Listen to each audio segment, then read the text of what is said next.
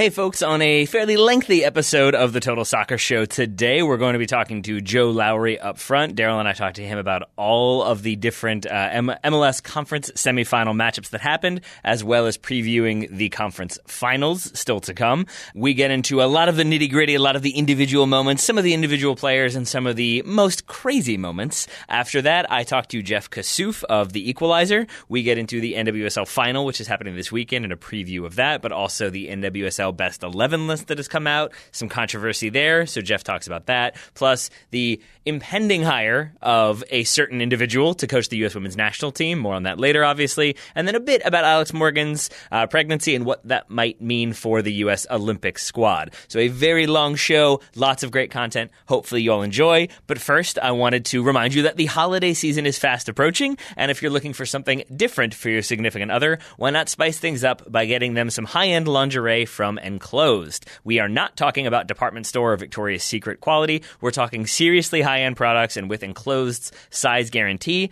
their products fit right 98% of the time. Basically, that means Enclosed will do all the work, you get all the credit. So go to enclosed.gifts, that's E N C L O S E D dot G I F T S, and use the code Total Soccer, all one word altogether, at checkout to get $35 off any multi month order. One more time, that's enclosed.gifts, and the code is Total Soccer for $35 off any multi month order. If you can't remember that, then there's a link in the show notes. Uh, but check them out. We appreciate them sponsoring today's episode. We appreciate you, the listener, listening to today's episode. And with that in mind, let's get to today's episode.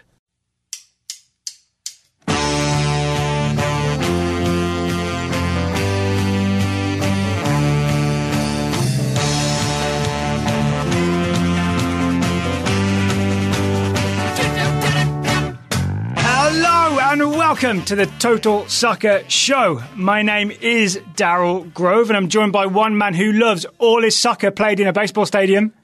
His name is Taylor Rockwell. Hello, I'm supposed to yes and you, but I refuse. I do not enjoy that at all. Uh, I did not enjoy that game, nor the camera angle, nor the mesh covering the camera. So you didn't know but me. Uh, yes, I am. And I'm joined by a man who isn't bothered by 10:48 p.m. Eastern kickoff times because he's on the West Coast. It's Joe Lowery. Hello, Joe. Welcome back. Hey guys, how are you doing today? We're we're good. We I would say we're sleep deprived, but I slept in to catch up after after the uh, El Trafico game. Good for you. Not That's so much very for nice wise, for you, my friend. Did the That's dogs need nice walking? Yes, they did. They did. did. All right. Well, let's start with the game that we didn't review yesterday. It was the NYCFC defensive horror show game where they lost 2 1 at Citi, Citi Field, it's called. It's spelled C I T I. Mm-hmm. I believe so. Citi Field to Toronto FC. Two goals from my man, Alejandro Pozuelo. Mm-hmm. Um, Taylor, what, what did you make of this game? What's your what's your thoughts uh, from yesterday? Uh, So we had them right. We were ready to go, Yeah. and then we didn't do it. I was pretty confused by this game because it seemed like Toronto kind of took it to NYCFC. They did the high press. They caused problems for them all over the place. Yeah, And- Alexi Lalas had a great point on the bro- on the broadcast, right? A great tactical point about how essentially NYCFC couldn't play out of it. Right. Yeah. A- And, then it seemed like like Toronto kind of shifted into okay, we're going to see this out. We got to like kind of make sure we we finish this one 0 And they started doing that like the f- maybe basically at the start of the second half, but like inside the first like ten minutes of the Yeah. second half, they're already kind of being defensive. So when NYCFC equalize, it felt for all the world to me like. Okay, this is it. NYCFC are going to win two to one, maybe three to one. The momentum is completely shifted. Toronto somehow weather that storm, fight back, get the the late penalty, draw that late penalty, and that's kind of where I wanted to start with Joe. Actually, is wondering if Joe saw it that same way, or if he was less surprised that Toronto were able to turn things around. No, I, I did see it the same way. I thought this game was reminiscent, weirdly, this is an odd comparison to make, but of that RSL Portland game in the first round with some of the momentum swings that we saw. Mm-hmm. Yeah. You, you, I think you guys kind of nailed it there. Toronto came out and, and as you were talking about Alexi Lalas talking on the broadcast, they did press NYCFC's build up, which is something that I didn't think they'd be able to do. I thought NYCFC would be able to play through them and get some quality attacking chances from their possession. But but no, Toronto came out and they pressed man for man. They eliminated Alex Ring and Maxi Morales really from New York City's build up, and that that gave them momentum to start. Even though they didn't grab a goal in that first half, they came out at the start of the second half and, and got one off of a pretty you know tough mistake from NYCFC's backline. But they they came back We're and they were on top. Oh, I'm sure we will. I'm sure we will. Then then NYCFC swung the momentum back in their favor. Torrent made a, a nice tactical formation change at halftime, adjusting his shape a little bit, and it Oh, looked what like did- they were going to run he- away with it. So what did he do? Because I'm guessing that's the big change that allowed them to. Because in case anyone didn't see it, NYCFC tried to play out of the back. Toronto pressed high. NYCFC eventually just like went kind of longish, and then the Toronto midfield won basically everything. Right, they ate it all up. So NYCFC couldn't go anywhere. What's it, What's the tactical change that allowed NYCFC to not get pressed to death? So at halftime, Torrent came out and changed from the 4-2-3-1 that they started in where he had Keaton Parks and Alex Ring as a double pivot Yeah. and Maxi Morales a little bit higher he changed to a 4-4-2 diamond which allowed the, that midfield number one to, to be a little bit better connected there was less of a gap between the double pivot and the attack and it also allowed them to just simply get more bodies in midfield Right. which helped NYCFC play out of that pressure a little bit better and then as Maybe well Greg another Berhalter was watching and learning. I mean, no, I don't. Um, it would be nice though if he was watching for Keaton Parks. Um, I'd be a fan of that. Taylor But- mentioned you were a fan of Keaton Parks in this game, yeah? Yeah, yeah, I did. Uh, um, yeah, Joe, I was wondering, like, if you are surprised Keaton Parks hasn't gotten more looks with the national team because it seems like he's good in possession, was inclined to turn and play forward. It seems like that's a thing we've been missing. I think his skill set would be a fun one to try out in this in the system that Berhalter is running or that he's trying to run. I'm not necessarily surprised that he hasn't been in as much this year because it's you know coming over from Benfica. It took him a while to get established in the lineup in New York, and now it, he kind of did get acclimated. But it's only really his first full professional season where he's gotten real minutes outside of some time for Benfica B here and there. So I'm not necessarily surprised. But if he continues, if he ends up in New York City permanently, I believe he's on loan right now. If he ends up there permanently and starts playing more consistently next year, get him in there absolutely. Get him in there. And, and so, flipping it around though, since we've talked a decent amount about NYCFC, we should talk a bit about Toronto. Is this something you think they're capable of replicating in the Eastern Conference Final, or will they have to adjust their, adjust their game plan again and maybe hope that Omar Gonzalez, Jozy Altidore are closer to being fit, if not fully fit, uh, for that game? I think they're capable of playing the same way. I, I was a little bit surprised that they did, but now that we've seen it work against, I mean, realistically, the best and most consistent team in the Eastern Conference, I see no reason why they couldn't match up with Atlanta a little bit. Although, to be fair, Atlanta won't play the same way that allowed Toronto to, to frustrate NYCFC. So I'm not sure we'll see the exact same thing, but sure, it's totally possible if we do see Atlanta try to build up a little bit, Toronto could press them, win the ball, and then use their own possession to to create attacking chances. Before we move on, we've got to talk goals, right? I want to talk especially first, we'll do it in order, about that Pozuelo goal from the, I'm going to say two defensive mistakes from NYCFC. I'm blaming equally Ring and Chanot for ill-advised headers. Is that fair, like 50-50 blame? Taylor or, Taylor or Joe? I, I mean, I would blame Chanel more than I would blame Ring. I Really? Ring, Ring is just trying to get ahead to it, in my opinion. Chanel, like, is trying to be clever, trying to flick it up in the air for Sean Johnson to come out and collect. I think he doesn't know where he is in relation to Sean Johnson. I think he doesn't know where Sean Johnson is in relation to him. Yeah, he So- didn't look, right? He didn't yeah. look backwards. No, so just to kind of go for that and expect it to come off definitely leaves his team in a bit of trouble. And then Pozuelo latching onto the end of it and finishing makes them even more in trouble. I think there's a bit of blame for Ring because he's, I think he's trying to head it back to Johnson and just gets what, maybe 50% of the power he expected, which is why it ends up with Chanot instead. Joe, what do you see? I think we can just go ahead and throw some blame around to everybody in that sequence because it's just a general lack of communication, right? If Sean Johnson, and maybe he did out and we, we just couldn't see it, but if that communication starts a little bit sooner, then they probably aren't dealing with those, you know, ill-advised headers in the first place. So, you know, if that if that sequence doesn't happen, then we're looking at a totally different game, and NYCFC realistically probably do come out of that second half as the winners. So, yeah, I'm willing to throw out some blame to, to pretty much everybody involved in that little trio of defenders. And then the NYCFC equaliser scored by the Cooligans lawyer, Ismail Tajuri Shadi.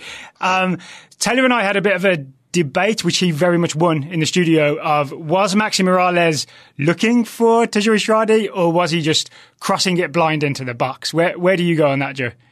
Oh, I, I wish I was there for that debate because honestly, I, I don't know. I'd have to rewatch it a number of times to tell. It was a nice ball, whether whether he meant it or not. It was dangerous to deal with. But what do you guys think about that sequence? Uh, I think Daryl wanted it to be the case that he picked up, picked up his head and decided that Tajouri-Shradi was like going to be crashing that back post. I I think thought I saw it. Yeah, I think he's aware that there are just bodies in the box. I think he's aiming, hoping somebody gets uh, gets ahead to it. But it is like that sort of well hit cross that's going to hang up in the air, cause problems for defenders, but not hang up so much that everybody's able to adjust. So I think he's just sort of backing that. If I put this in the box, somebody will hopefully be there to meet it, and he ended up being being proven correct. And the guy we ended up putting more blame on was Jonathan Osorio Mm-hmm. because he was aware that Tajouri-Shradi was at the back post, but then weirdly got distracted uh, by a player at the top of the box, right? And Yeah. let Tajouri-Shradi go. Yes. Yeah, and, and that player was marked by Michael Bradley. I can't remember who it was for New York, uh, but that was that was oh, it was Mitrita, I think it was, who was sitting at the top. And Bradley Yeah, I had him. think so. I think Osorio got a little bit nervous, and in the end, you've got a wide open player at the back post. So not great defensive work from Toronto. I don't think they can give as many defensive lapses when it comes to defending the likes of Josef Martinez in Atlanta. Then again, as long as they don't do what uh, Matarrita did, then I think they'll be okay. So the reason I've been playing the blame game in the uh, analysis of these goals is I've been building up to the man who is ultimately to blame. Just ask, ask Maxi Mor- Mor- Morales. Mm-hmm. It's Matarrita with that horrible, just I don't know what he was thinking tackle on Laryea, who's a player I've become more familiar with after he, he helped Canada beat the United States. Um, Joe, is there any tactical analysis to give of Matarrita's uh, tackle foul in the box? Or is this just madness? It's just playoff madness. I feel like you know the answer to this question before. Well, you no, asked I'm it. hoping there's some reason why it would make Why, sense why to he go went to for a Grant. horrible tackle? Yeah, on on a, on a, a tactical analysis of why a Laryea's horrible tackle was horrible. You don't know how good Joe is. He might have some brilliant point. I okay. I, now I feel you know even better about this, but I do have something more general to say about this this sequence. Okay. The tackle, not on the tackle at all. I don't. That decision was super questionable. But in the build up to that play, as Toronto were kind of getting back into it a little bit, New York City FC had equalized. They were pushing numbers forward as well. So there were there were gaps in the left side of New York City FC's defense. It was pretty much just Matarrita, Morales, and Mitrita defending on that side, and so Toronto saw that and they kind of licked their lips a little bit three times uh, from around the 80th minute into that that tackle from Matarrita in the box. Three times Toronto played down that side and had a legitimate chance. And so that last time that Matarrita brought Laryea down in the box, that was sort of just the culmination of Toronto's attacking game plan. And yeah, the, the decision was poor and it didn't reflect well on on their play as a whole. But it, there definitely was sort of a larger plot leading up to that that point and eventually the Pozuelo Panenka. So Greg Vanney's uh, tactical decisions were as sharp as his scarf selection. I, I'd say so. I think the the scarf looked great, and his tactics played out pretty well too. Anything else to add on this game from Taylor or Joe?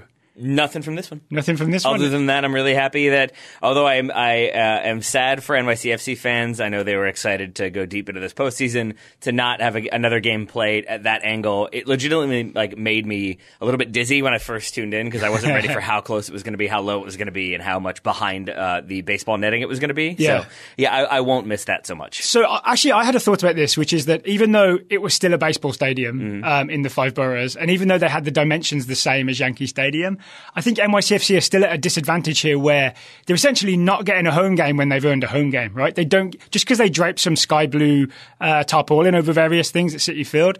They, I'm guessing the NYCFC players were not as comfortable at Citi Field as they would have been at the more familiar Yankee Stadium Why do you say that? because it's just not their home field, right? There's, there's definitely just a comfort about having your home field. Like, you know, the dressing room, you know, like the various bumps on the field. There's just a comfort to being at home. Yeah, am I reading too much into that, do you think? I mean, I don't know because like like I feel like they probably don't even think of Yankee Stadium as their home because it's not. It's they the go there every outfield for the Saturday, right? Yankees. Like I don't know. It, it's it's hard for me to really know how much of a factor that was because it's already. It's not like they went from playing on a normal size field to like a Yeah. tiny field the way they kind of already do like they already do that so I, I don't like i take your point and i understand why you would say that but i also think maybe in contrast to say like if toronto had to play somewhere else because bmo field was taken that day i think that's probably going to be a way bigger issue for them than maybe it, it would have been for nycfc that said they did lose so who knows Yeah. So build your own stadium and then you never have to worry about these things. not a bad idea not a bad idea Well, a team that didn't build their own stadium but does a really good job sharing one. Yep. Seattle Sounders uh, later uh, Wednesday night hosted Real Salt Lake. This finished 2 0 to the Seattle Sounders.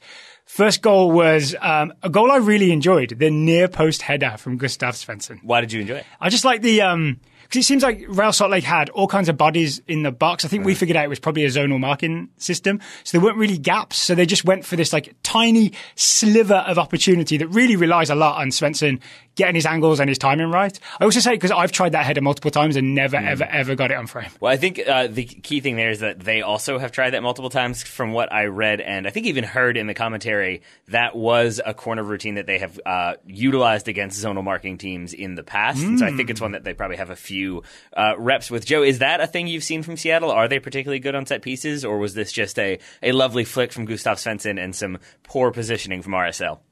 They absolutely have the Sounders absolutely have you know the bodies and the the physical presence in the box to be an above average team on set pieces. And then again, you look at the design of that set piece, kind of as, as you both just already broke down the near post run and the, the fantastic angle and the finish.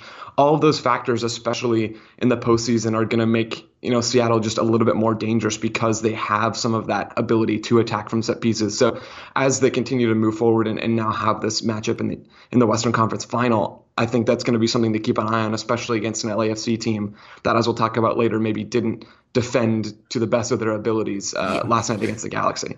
Um, Bobby Warshaw did, I think, a slight bit of trolling uh, when he said in his match write up, "It's difficult to describe how the Sounders won or what they did right. It's still difficult for anyone except Sounders fans, uh, at least to discern anything specific about the team's style of play." Is this? I didn't watch the game, but I've got to write a column. No, I think you probably watched. Uh, there was much consternation in the comment section from Seattle fans. It seemed the guess seemed to be that like he likes to troll Seattle. Bobby Bobby enjoys maybe Uh. poking, poking Seattle with a stick. Uh, Joe, I was wondering if you could provide a bit more insight into how the Sounders were able to get this result because the narrative, again, Seattle fans don't love this one, was that like RSL were a bit more dominant in the first half, controlled possession, uh, kind of controlled the run of play. Seattle able to come out and change things up. So I guess first off, do you subscribe to the idea that RSL were a bit more dominant in the first half? And second, how were Seattle able to come out and, and win the game in the end?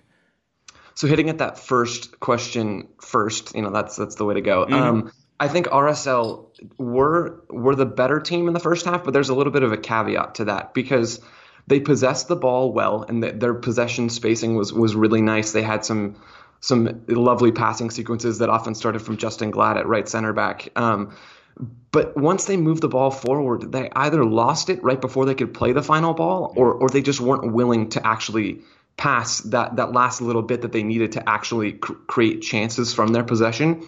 So part of that boils down to RSL's reluctancy to actually make that decision in in the attacking area, but also part of that I think does come down to Seattle's defensive structure. So so in the first half they, they conceded a lot of possession and and at halftime in his interview with Katie Witham, Brian Schmetzer wasn't particularly pleased with his his team's pressuring defensively. Uh, he, he wasn't happy with how RSL dictated play.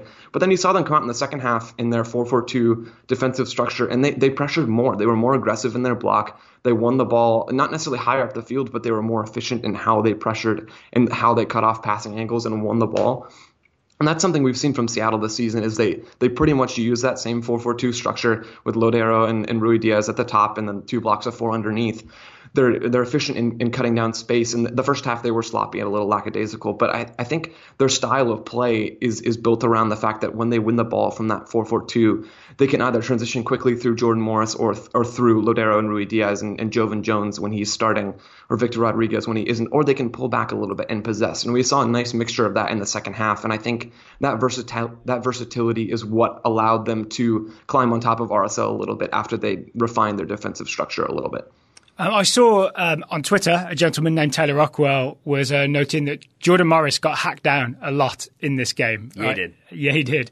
Um, so I wonder, Joe, to your eyes, was that a sort of deliberate, like a thought through plan from Real Salt Lake? Like, let's bring Jordan Morris down before he accelerates? Or were those acts of desperation? It's tough to say. I think. I mean, I think it could be a little bit of both. Not letting Jordan Morris get out in transition is is definitely one of the keys that you have to use when you're defending the Sounders. But also, I don't know that necessarily every single time that they brought him down, it was a conscious thought. Sometimes it, it just would be reactionary. So I'd say it's probably a little bit of both. But in general, bringing down Jordan Morris before he can burn in behind your back line is definitely the way to go, as long as it's not you know, obviously malicious. He's famously bad at free throws, so there is that.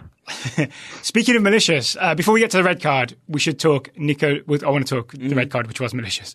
Um, Nico Lodeiro's chipped goal in the 81st minute. Good old Nico Lodeiro. Joe, can you talk us through this goal? Absolutely. So it came sort of up the Sounders' left side a little bit. Brad Smith found Raúl Ruidíaz And and that this is the part that I like the most on this goal is Ruidíaz's composure. Well, that's that's the first part of what I like most on this one. so he kind of waits perfectly for the right moment for Lodeiro to arrive in the box. He waits for him to have just enough separation. And then once once he's in a little bit of a pocket of space at the top of the box, uh, Ruidíaz plays Lodeiro in, and then the finish is just beautiful. It's it's a bending ball. It's it's almost like when you watch it that it physically it shouldn't be able the, the ball shouldn't be able to bend like that. Um, but he Lodeiro bends it. It's sort of like I mean, correct me if I'm wrong here, guys. It's sort of like an inside out swerve yeah. um, that he yeah. hits past Rimando, and it's I mean. Rimando just had no chance of getting to that. Everything about that finish, and then also the pass from Ruidíaz as well, was was pretty much perfect. Yeah, it makes it really difficult if you're the goalkeeper to like adjust to that ball swinging right at you and then swinging away, but still swinging on frame. My issue here is my co-host has decided to describe this as a chip, and I, am, Yeah. I, I it genuinely threw me for a minute. I was like, did I miss a goal? What would you call it? I mean, he insteps and hits this hard. You like, think it's I- hard? I- oh, I, in my head, this is like kind of uh, slow bendy. All right, Joe can be the tiebreaker here. I saw this as like he hits this like with his left foot instep at pace, and and almost I would have gone with like smashes it into the side netting. I think I'm somewhere in the middle. I, I in my mind, chips kind of are a little bit more with the toe. Maybe I'm I'm way off on that. Um, but this one was hit with some finesse into that top corner, but it, it was also with the instep. So I'm gonna go ahead and tread that middle line just to get show hit of this month. Well, okay, let's settle it like this. In my defense, I was watching it in slow motion.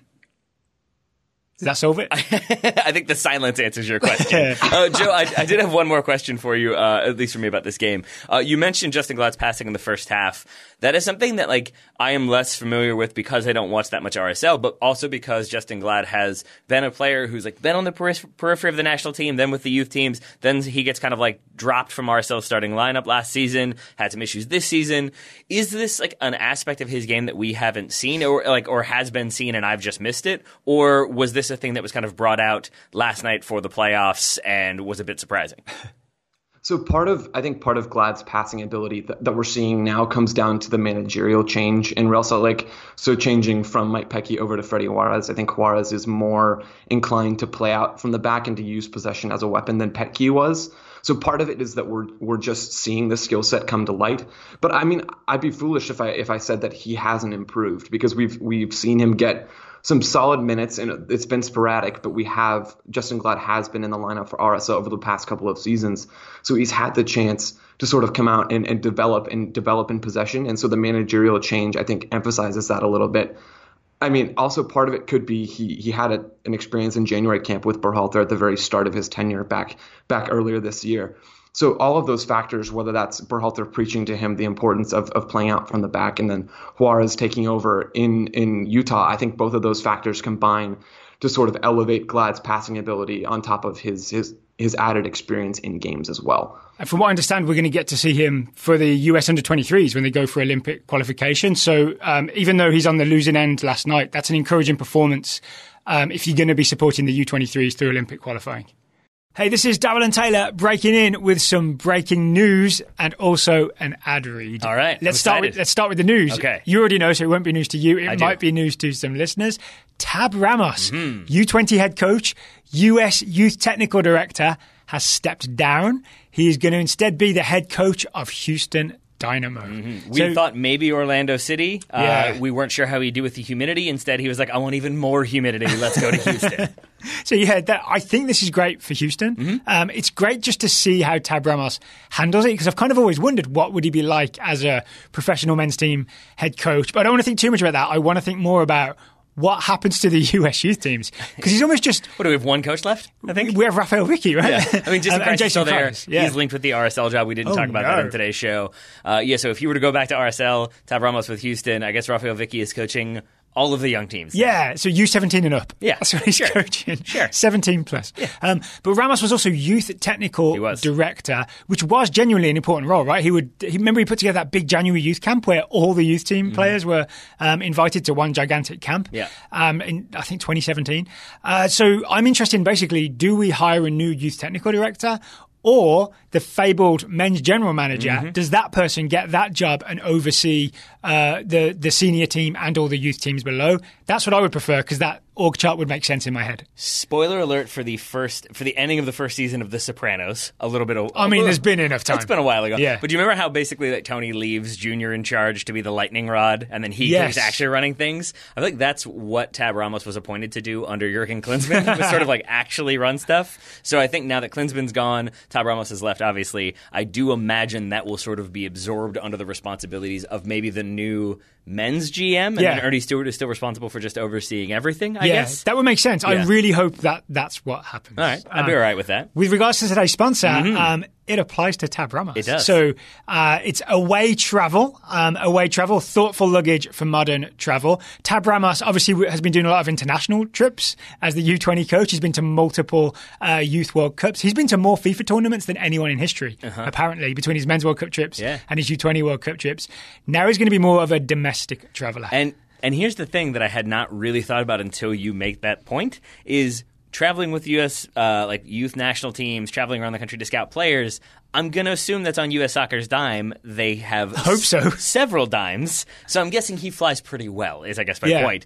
With Major League Soccer teams, we know that there's only a limited number of charter flights. Yep. Sometimes coaches decline to sit in first class because they think it separates them. Yep. So Tab Ramos may be in need of some luggage that allows him to be Oh, yeah. versatile in his travel. he might have to get used to a lot of carry on and less Yeah. checked luggage. At first, this seemed like kind of a gimmicky connection. Now I'm like, no, he might actually need this luggage. Tab Ramos, buy yourself some away luggage. Luckily, Away has all kinds of sizes, Mm-hmm. They do. Uh, including the carry-on and the bigger carry-on. Um, I can tell you that they've uh, they've sent me the bigger carry-on because I asked for it, and Mm-hmm. I'm very very excited about it. You may remember on Twitter I said we've got a sponsor. and I'm very excited because I've been trying to get them for years. Mm-hmm. I've really wanted Away Travel to sponsor the Total Soccer Show. But like Tab Ramos could go with the large, which I think is is like the largest of their suitcase options. It's the biggest one that's thoughtfully designed and guaranteed to last a lifetime. He could put a smaller player in there, and then that's one less travel accommodation he has to worry about. Saving that's a way to get around budget, it. yeah, I Saving think so. Houston. So he's going to sign some. If you see Ramos signing some really short players, Yeah. you'll know that's what he's up You to. will. It's weird that their copy doesn't include anything about uh, stowing humans for soccer games. It doesn't. It's odd. It's, odd probably- that it doesn't. Probably wise on their part. Uh, it does mention what is. what away travel suitcases are made of, which is what made me excited Mm. about them. It's a strong yet flexible polycarbonate Mm-hmm. and an anodized aluminium. So I'm really excited. Away travel can essentially handle the rough and tumble of baggage handlers.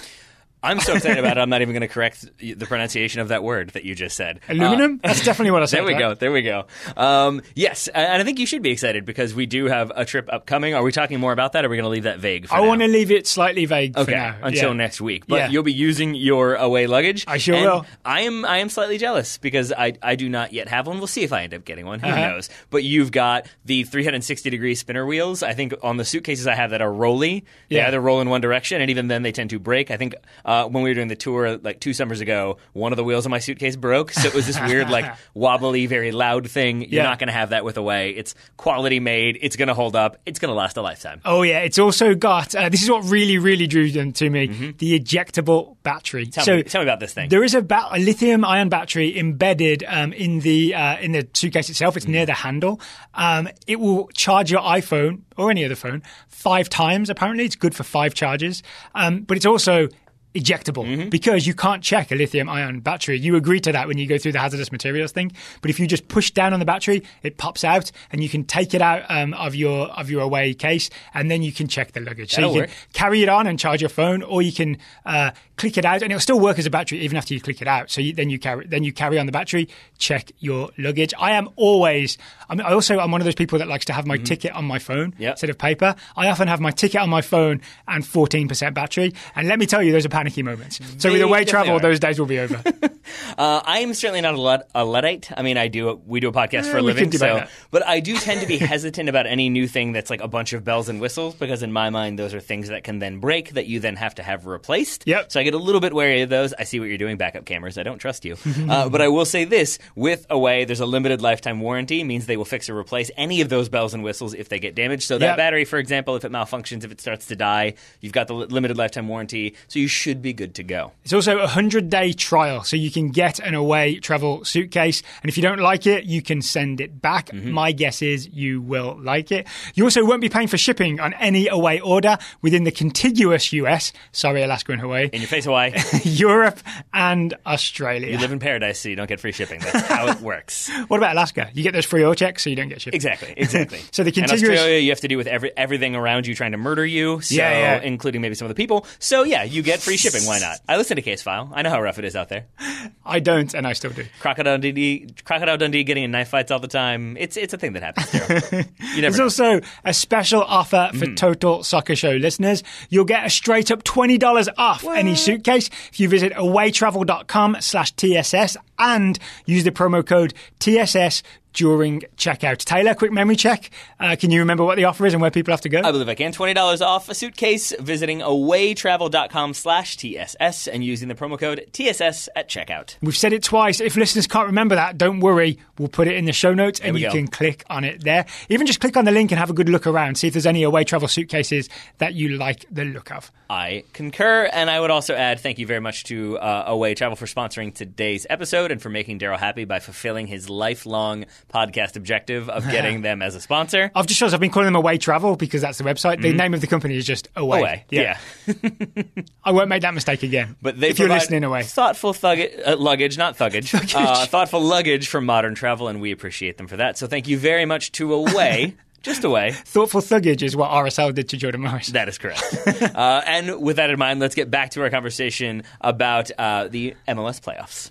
Um, I, I, I lied. I have one more question, sort of about this game, but it is also about like every team remaining in the playoffs. There seem to be a, a decent amount of defensive questions about all four all, four remaining teams. Joe, I guess like if I were forced to answer my own question, I would say that Seattle maybe have the the best looking defense right now. Which team do you think of the four uh, still left in the playoffs like has the best chance of uh, ho- holding their opposition scoreless or shutting down uh, opposition attacks? I mean, before yesterday, I would have said LAFC just because they have been so dominant as a as an entire unit this season, from from front to back. Essentially, they've defended well. Um, but now I'm kind of torn. I, I don't know whether it, Seattle has the talent, the defensive talent, but they like to push forward a lot, and that can be exposed in transition.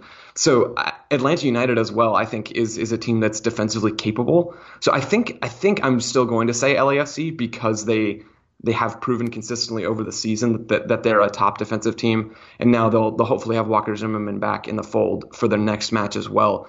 But that's a great question. The defensive kind of errors and, and problems that these teams have had has been really interesting to watch, and I hope it's something that MLS, you know, roster decision makers are kind of paying attention to as they continue to construct their rosters for future seasons. That that would make sense to me. Uh, I think Atlanta tried to deal deal with that by bringing in some defenders and some capable replacements, and then they were without due to injury last night. Uh, they did not have Michael Parkhurst. They did not have Miles Robinson. They may have them for the next round. We think, but maybe that's unlikely. Are you letting Everton Luis get away with that red card without talking about I it? I mean, it was a bad red card. I guess we can talk about that if you want. I get to be honest, there's not that much to say, right? It was obviously a red card, Mm-hmm. and yeah, he absolutely deserves the red card that he got. He maybe deserved the flags waved in his face just for like the, the added punishment as well.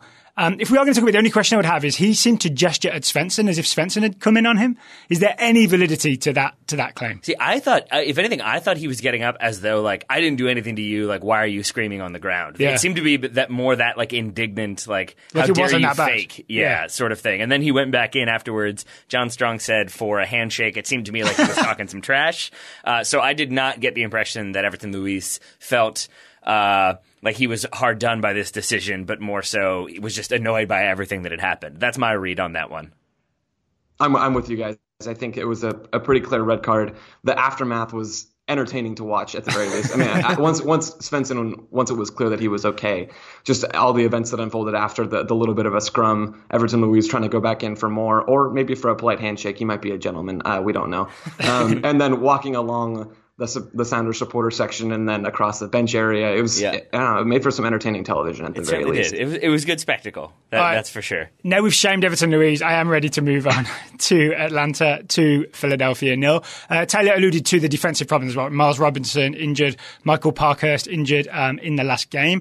Uh, what De Boer went with in the end was a back four with Gonzalez Pirez and Florentin Pogba. Um, how like how secure did that look? I mean, I know they won two 0 but how secure would you say that looked, Joe, over the course of ninety minutes?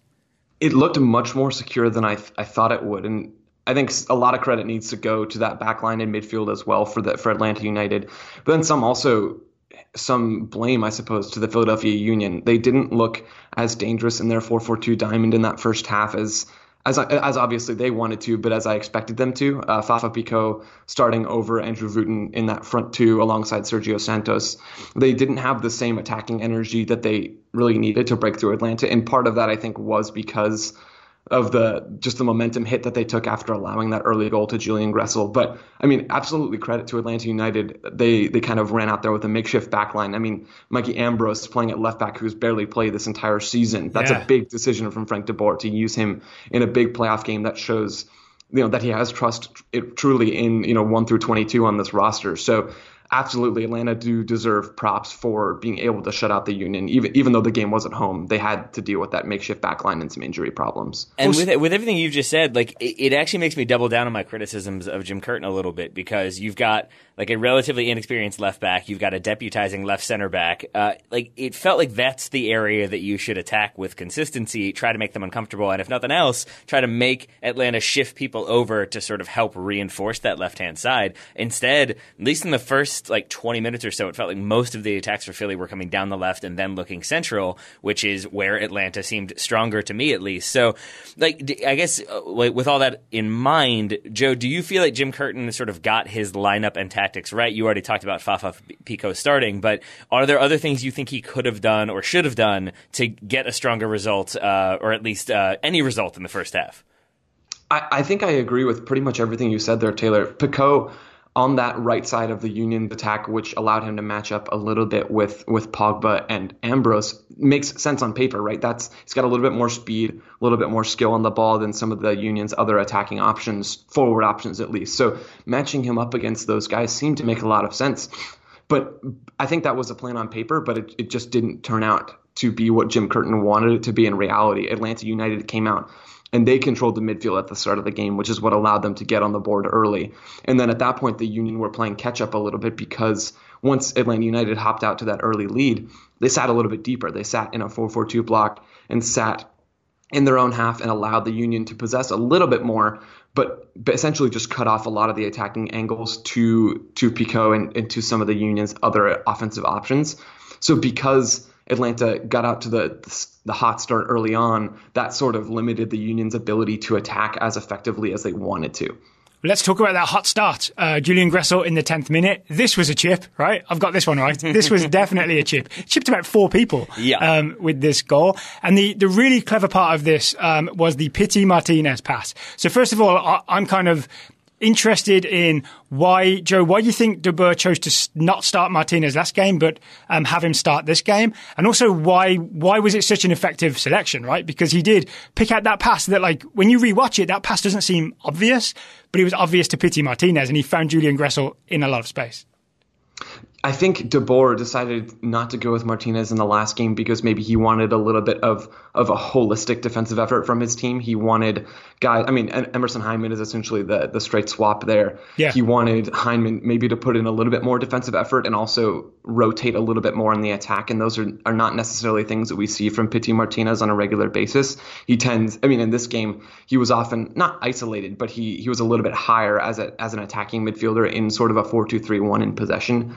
So he had a, had a simpler role, and it allowed him to to connect play maybe slightly better than Barco can, but also at a slightly slower pace as well. Barco is a little bit more aggressive than Martinez in his movement. He, he likes to go downhill a little bit more. So I think it made sense. I think I think I can understand the roster decision at least from De Boer. And then uh, at this point, I've talked so long, I forgot the second part of your question. I think I think there was only one part. Yeah. Yeah, Oh, great. Then It was good. just it was just one very long question. Perfect. Uh, yeah, well, I- well, with De Boer in, in mind, uh, like the narrative it seemed to be at least on Twitter, so grain of salt there, seemed to be that Frank DeBoer was like winning because he had moved away from his style and his system and embraced one that was more similar to what Tata had Atlanta doing last season. So essentially, Atlanta were winning because they were doing what was familiar to them as opposed to what Frank DeBoer had asked of them earlier in the season. Do you agree with that sort of narrative, or do you think it's unfair?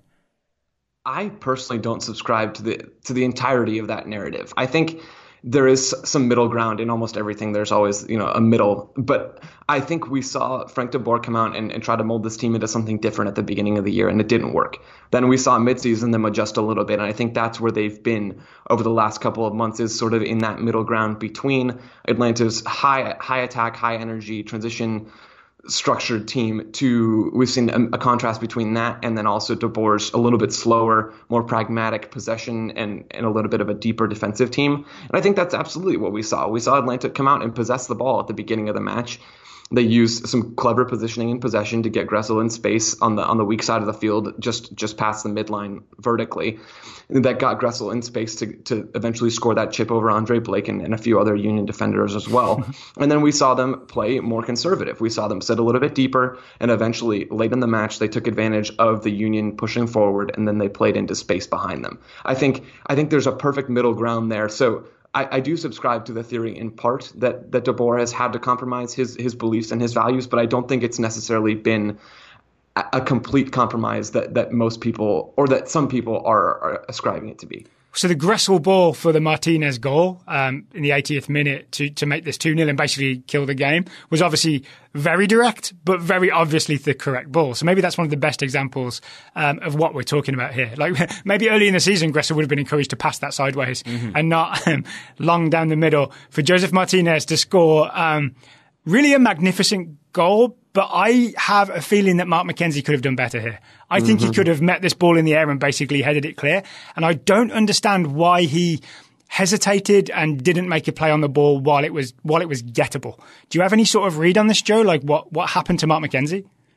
I think part of it boils down to the fact that it's just an awkward angle to deal with. He's trying to tra- he's trying to track Josef Martinez you know, at a high speed here, and then he also has to look back, kind of like a wide receiver or a cornerback in the NFL, has to look over and, and deal with that ball as he's running. And so, unless I misread that play, I think I think the mistake isn't, you know, it's not an acceptable defensive play from McKenzie, but it, it is a little bit understandable. Um, so I, I, understand the position that he was in, the difficult situation. But yeah, if you're a starting center back coming against Josef Martinez in a late game situation where your team still has a chance to equalize, that's a really, really tough defensive mistake to make. Um, but then also, you mentioned it, Daryl, but credit to Julian Gressel and Josef Martinez. These guys have somehow they have this telepathic connection that I feel like allows them to link up anywhere on the field. Gressel could be playing center back, and Martinez could be playing anywhere else in the attack, and they could still find a way to to pass back and forth. It's it's unreal to watch. And I would extend that to even the first goal, uh, Gressel's goal. Josef Martinez makes a run, like kind of where uh, Gressel ends up hitting the ball is where Martinez starts his run. He makes a run across the top of the 18, takes I think three Philly defenders with him because he is that dangerous, and that opens up that space for Gressel. So even there, you've got the telepathy at work. But it does make me then wonder, Joe, like, this is a very silly question and I will give you some more context to it. But essentially my question is like, how good is Josef Martinez? Because this goal was, in my mind, like an incredible feat of skill to bring it down to control it in stride and then hit it at the tight angle he does. I think it speaks to a lot of like the confidence and self belief to be able to attempt that and pull it off. But I also can't tell how much of it is Atlanta being built around him. And so I guess like let's say with LA, if you took the LA Galaxy, Zlatan left, or not, I'm not even going to give you a hypothetical scenario. I'm just going to say if we just swapped Zlatan and Josef Martinez, are the Galaxy a better team with Josef Martinez in there, or does his game because it's so different than Zlatan, like does it drop off, or is he still as productive? I think he's just as productive. The Galaxy uh, would be able to use him in a somewhat similar way to the way they use Ibrahimovic, even though there's a, a massive size disparity there. Martinez is Slightly, just yeah. so well rounded. um, just he's capable of winning balls in the air. Although, to be fair, in this game against the Union, he did miss several chances that were pretty clear cut that, that yeah. he probably should have converted. I took um, that as him just wanting to remind us all that he's mortal. So after he scores that goal, he then has to miss the kind of like open one from 12 yards out that was very decent of him. Yeah. It's a it's a good reminder that he's that he is not God. Um, but yeah, Martinez, he's just he's unreal for Atlanta. He allows them to play in so many different ways based on the moment, right? So he can he can drop in and he's clean on the ball. He's he's hold up play for for someone who's not the biggest striker is fantastic. Then he can get in behind, run off the ball in behind the opposing back line and find space that way. Or like you mentioned, he can he can sort of make these sacrificial runs that allow some of the other attacking players to be highlighted and their skills to be used more efficiently. So if you put Josef Martinez on any team in this league, he would make them, you know, infinitely better. And, and that just really speaks to the talent that Atlanta have found in him. And I'm really interested to see if he sticks around in MLS for the next few seasons, how much more his production can improve over the course of those seasons. The feeling seems to be that he will stick around, right? Isn't that quote from him last year where he sort of says, "This is my Real Madrid. Yeah. I'm not looking to." I think he's move pretty happy. Yeah. Anywhere. I Yeah. agree. Yeah, I think he's happy here. So do you think we just see him like multi multi years in Major League Soccer and just absolutely blitz the goal scoring records where no one will ever touch it?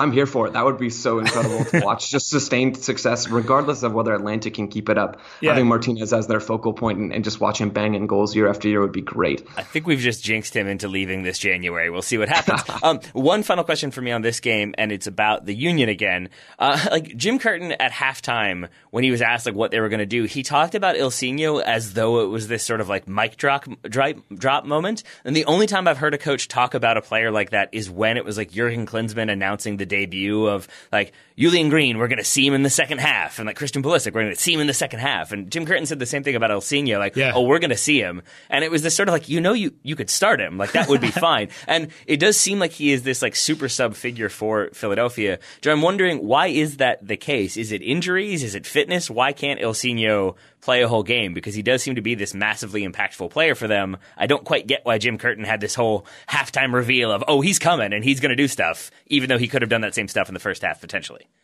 I, I completely agree with everything you said. The motivation, at least in my mind, behind Curtin's decision to consistently bring him off the bench and not start him is that well I think there are two parts to it. The first is that he Ilsinho can come on and run at a little bit more tired legs. Um, he has some more space to run in on and and he can manipulate the defense a little bit better when when they've already played some minutes and, and had some intense moments. Um, but then again, I think the other part is that he Ilsinho messes with the Union's shape. They have to change it to to fit him a little bit because he he's not going to really perform the defensive duties necessary from from any one of those positions in the diamond. So they typically change to a four two three one and put him on the right wing where he can just sit on that sideline and, and go back and forth at his leisure. But uh, essentially, his role is to receive the ball wide and make magic happen. And I think all of those things, if you start out like that in a game, maybe you don't have the same structure. Maybe you can't shut down Atlanta's midfield, even though they weren't able to do that at the beginning of the match anyway. But your your chances to do that, to, to be solid defensively and then also structured in attack, maybe go down a little bit. So did Curtin need to be Ilsinho's hype man at halftime? Probably not. Um, but I think I think there is some logic behind the decision. Can we copy and paste everything you just said about Ilsinho and have it apply to Marco Fabian? Is it the same situation where he doesn't fit the defensive scheme and the shape, but he's, you know, bring him off the bench and he does something magic? I think so. I think Brenden Aaronson is much more willing to make those sacrificial defensive runs and and off ball move off the ball in the attack as well to let some of the other you know front two or midfield players shine. And Marco Fabian really isn't. He's he's more of he needs the ball at his feet. He needs to have touches, and then defensively he can be a liability just because of the type of player he is. So I think a lot of the same principles absolutely apply there. So I'm going to say well done to the Philadelphia Union and Jim Curtin for getting this far in the playoffs despite having two high profile players that don't fit the system. He somehow found a way to make that work and keep those players, I'm going to say, relatively happy. Yeah. Yeah. I'm going to say Bob Bradley did the same for LAFC. He Oh, found yeah. a way to make his players happy. Uh, Joe, I would ask you about Carlos Vela previously struggling to shine on the big stage, but I'm afraid that Bob Bradley will Hulk smash through the door and get mad at me. Or Joe will just tell you to get lost. Or that, or that. So instead, I um, sorry, Joe.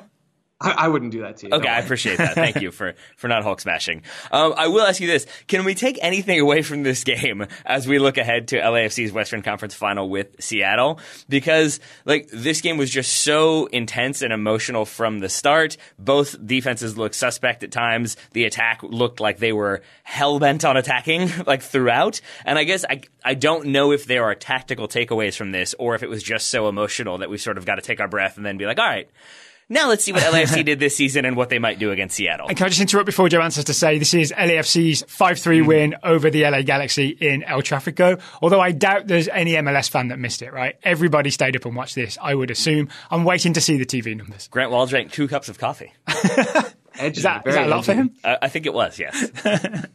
I drank a My- pot of coffee, but that's fine.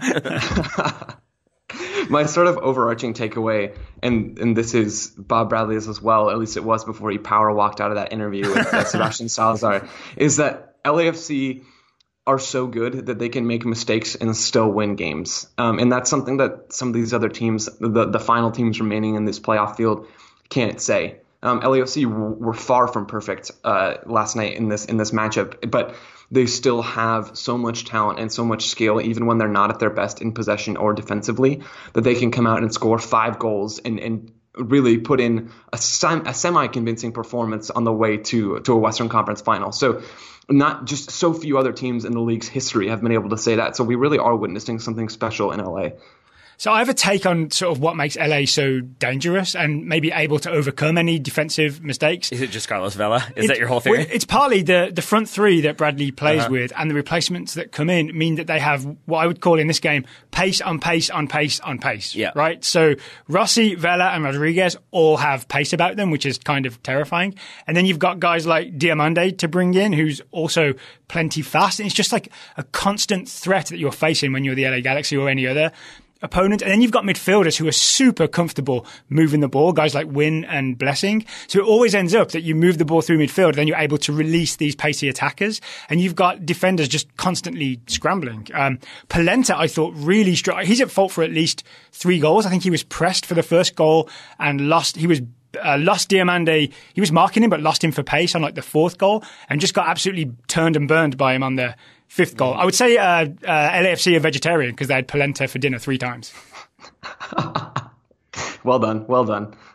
Taylor's shaking his head at me. I should have known it was coming. But- I'm mostly just mad at myself for not knowing it was coming. That's all. But my bigger point is if you've got like one defender who's maybe not that Yeah. fast, like suddenly you, when you've got all pacey attackers, that defender's at some point going to get exploited. I, I think that's what makes LAFC uh, so dangerous. Is that too simplistic, Joe, or is that like a like a, a decent read on LAFC's attack? No, I think that's a great read on their attack, especially in the context of this game. Um, their game plan, LAFC's game plan, was to allow the Galaxy to possess more than they're comfortable with and, and to sort of bait them forward and then use their, their attacking speed and transition to run at that back line exactly how you described it. So I think that's a that's a perfect description of of their abilities in general and then even more so just how they approach this game and it, it eventually paid off, absolutely. We're interrupting once again, not with breaking news No? this time, no, unless you know something I don't. I don't. You don't, not anything, you don't know anything that I don't. Nah. Um, but not with a new sponsor either. It's with our oldest sponsor. I know something. They've been with us since the early 1700s. It's Ruffneck Scarves sponsoring today's episode. They did make the scarves for the American Revolution. Yes. right? that's a less Yeah. like a lesser known thing. They were there, Battle of Bunker Hill, Uh-huh. like lots of drama, when lots Washington when Washington crossed the Delaware, his neck was warm. Of course. thanks to Ruffneck Scarves. yeah, of course. Uh, because in addition to being, closely in the paintings. I guess the official scarf provider of the American Revolution, they're also the official scarf providers of U.S. Soccer, MLS, the NCAA, and the USL. Obviously, today Mm-hmm. we're going to focus on Major League Soccer. If you go to the MLS segment at Ruffneck Scarves, you can find not just a scarf for each team. It's not just one scarf that says Atlanta United. There's multiple Atlanta United scarves, for example. I'm using Atlanta because they're the first team that comes up. That makes sense. Um, so there's the Unite and Conquer scarf in various different colors Uh, you've got uh, uh, same thing with LAFC. Mostly the same colors. You've got black, gold, like Yeah. some silver in there, some white in there, but mostly black and gold. LAFC has some good, strong graphic, Yeah, basic but very strong graphic design, Yes. right? Yeah. They uh, they did well there. It's almost like they're like fully owned by a bunch of different celebrities who all have connections to interesting people who do interesting artistic things. So whichever MLS team you support, Mm-hmm. one that's in the playoffs or one that hasn't even played a game yet, like Austin FC, Hmm. um, they have a scarf for you at ruffneckscarves.com. See, they can see the past, they can see the present, they can even see the future. That's how good they are. Hopefully they can see the future because Chicago Fire still have a bunch of scarves Uh-huh. with the name Chicago Fire. So that name isn't going anywhere, according to ruffneckscarves.com. I want Ruffneck to just start doing like pot- possible potential future iterations where you've just got like Yeah. random teams. They're like, wait, hold on, is that an is that an official expansion team? Did, did I not hear about this? Juneau, Alaska is getting an MLS team. What has happened? I'm confused. The Juno Jitterbugs? Sure, perfect, Daryl. wow.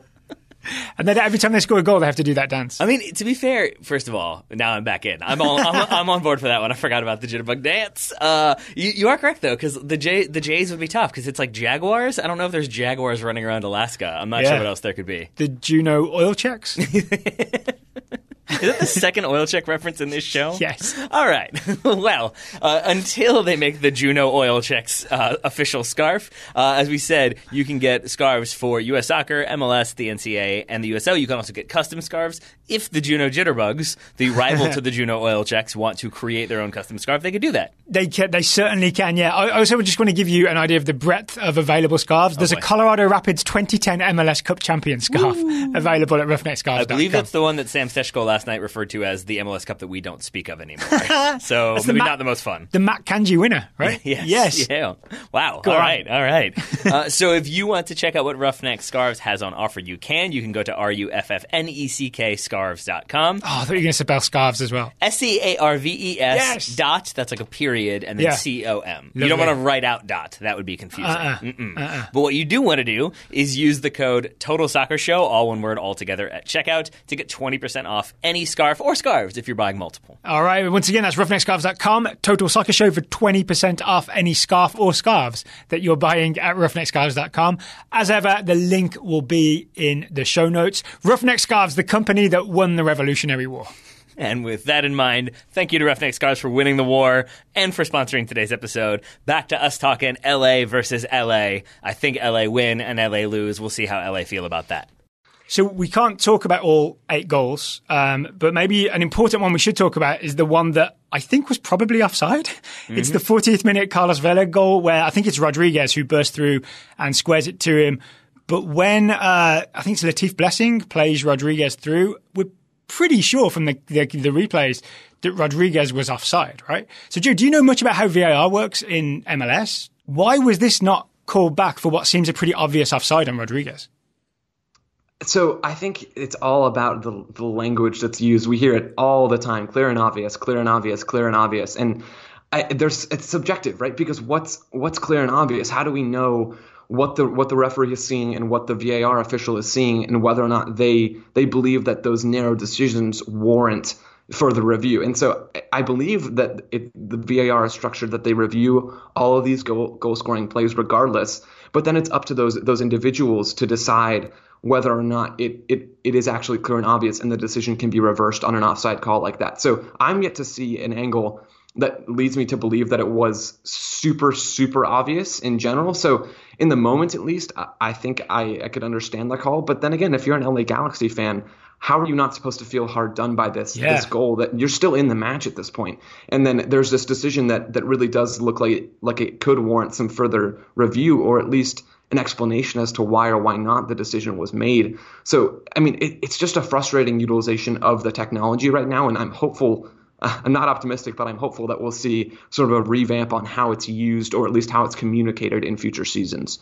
So uh, Carlos Vela, obviously a very impressive performance. Diego Rossi, I thought equally impressive. The player that stood out for me in a way that I didn't expect him to, like the one that I went and checked just to make sure he couldn't play for the U.S. national team. I'm wondering if Gerald did the same. Is Latif Blessing, who I, I thought was really impressive in terms of like some of the balls he played in. Daryl mentioned the, the the second goal, even if it was offside, it's still a good ball. but that he just he seemed to be the one who could put out the fires when LAFC were overly focused on attacking when they'd commit numbers forward. He seemed to be the one who still had the engine, even in the, the very end of the game, to be able to like like shut down counterattacks, shut down attackers, cause problems. And I was just very, very impressed by uh, his performance last night. So I'm wondering, from a general standpoint, Joe, w- what is it that he brings to LAFC, and what did you make of him last night? Latif Blessing brings a number of things. He brings defensive effort more so than than maybe any other player in this league, which allows exactly like you said, Taylor, which allows some of the other players to focus more on attacking and not worry as much about their defensive contributions. Not that they don't have to contribute, but Blessing can sweep up a lot of those those issues, and especially in a game without uh, Mark Anthony Kaye in midfield, where Lee Nguyen is a little older. He doesn't have the same legs that Mark Anthony Kaye does to cover ground and to cut out passing angles. So Blessing's performance was even more key from a, from a defensive perspective. And then offensively, you also touched on it. He's he's becoming you know, a, a, well-rounded central midfielder, which is not something that I necessarily expected to see from him a couple of seasons when he was playing more as a wide player, whether that's for Sporting Kansas City or or coming into LA when you know we ha- that's all we had seen from him. You know, I expected him to to continue to be sort of an energizer bunny on the wing, but now we see him turning with pressure and, and turning out of it using a low center of gravity to to move the ball through the opposing defense and turn and, and play these passes as you already highlighted that's that's a special ability. We're seeing a player truly adapt to a new position, and he's done it flawlessly for LAFC this season. I also want to talk tactically about the changes that Bob Bradley made throughout the game. He brought on uh, Walker Zimmerman and he brought on um, an extra centre back towards the end whose name I'm about to call him Stankovic, but I think that's the wrong name. I think it is Jakovic, Jakovic, I believe. Jakovic. Yeah. Jakovic, yeah, he brought Jakovic. Um, can I assume that this is um, in response to the thing that we talked about? I think it's Dejan Jakovic. I think that's why you did that. That's I think it. you made him Dejan That's Stankovic. it. I made yeah. him way more talented, but he's still pretty good, right? Um, so he brought on Zimmerman, he brought on Jakovic, um, and it seemed in my head I was thinking about that game where the LA Galaxy were able to just play long to Zlatan and kind of they they destroyed the LAFC that way. Um, was this a case of Bob Bradley seeing what had happened in the past and being like, all right, I know what to do. I'm going to just fill this field with centre backs and make sure we win aerial balls. I think Bradley was absolutely keeping that in the back of his mind. You you bring in a guy like Walker Zimmerman and move Tristan Blackmon, who started at right center back, out to out to right back you you have a little bit more height defensively, having Zimmerman come in for Beitashour, um, and you try to cut off circulation to to Ibrahimovic. Essentially, you you try to deny him the ball aerially, and then also hope that Zimmerman has the foot speed to get forward, and then Jakovic eventually as well to to step and deny him the ball if they try to play him on the, on the ground. And that's that's something that we didn't see LAFC manage especially well at least some of those those loose balls in midfield. We didn't see them maybe step as quick as they needed to to clear some of that danger. Um, so allowing a guy like Zimmerman to come in first and and have him cut off some of that the play to Zlatan, right. I think it made sense from Bob Bradley. It didn't allow him to truly go for it in an attacking sense, but sometimes you have to you have to cut off the opposing team's attacking ability to be able to start some of your own. So well done to Bob Bradley, even though he was rude to Sebi Salazar. um, I do want to talk, unless anyone's got anything else tactical to talk, I want to talk big picture about this game and its perceived importance. Mm-hmm. I heard it talked about as the most anticipated playoff game of all time, as if we haven't hyped MLS Cups mm-hmm. before. And then I also heard um, Taylor Twellman on the yeah. ESPN broadcast like call event. this a watershed moment for Major League Soccer. Mm-hmm. And I don't know why, but I just I'm I'm not convinced, or I don't really understand what he means by that. Does he mean that like suddenly the next TV contract's going to be gigantic because this one game had eight goals in it? It just I don't feel like there's any actual watershed here. I think it, like to jump in for uh, for a moment. I think part of that was informed by him being there, and I do think and that feeling if, the atmosphere. Yeah, I think if you were there, like it, it was by by by my eye no disrespect to Atlanta, who did Atlanta things, but that was the most like raucous atmosphere. I think because it's, I think part of it is because it's all black. It has that more intimidating yeah, yeah. vibe. But like that that wall behind the goal is just so like interesting, and there's so many flags. But the, even at the I end, like the bouncing you, left and when right you had everybody Yeah. bounce, but you had like the whole stadium bouncing. You had the smoke everywhere. It was L.A. You had celebrities there. I think if you were in that stadium, you felt this like nothing has ever been like this before and never will be again. And I think that's partially where that was coming from. That said, I would also add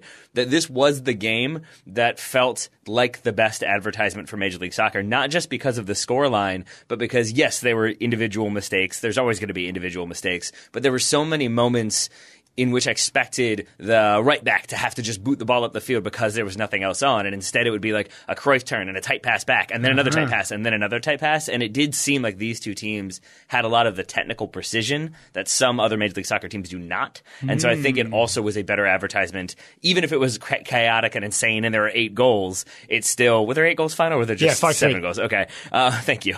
Um, but it still was just this like very interesting game for so many different reasons that I think that's where that came from. That said, I still think Taylor Twellman was being slightly emotional with that statement. Do you, do you think maybe he's almost trying to convince his bosses at ESPN that like, hey, this is this is a big deal. You guys should pay more for the next contract. You never know. You never know. and maybe don't switch channels halfway through. He's got to afford that, afford his uh, Taylor somehow. So I think maybe yeah, a better TV contract helps with that. He's designated Taylor. Yes. Um, anything else to add on this game? Not for me. for I me, think I yeah. think you guys covered it well. All right. The one thing I would, one thing we kind of skipped over was Nick Rimando's retirement. We did.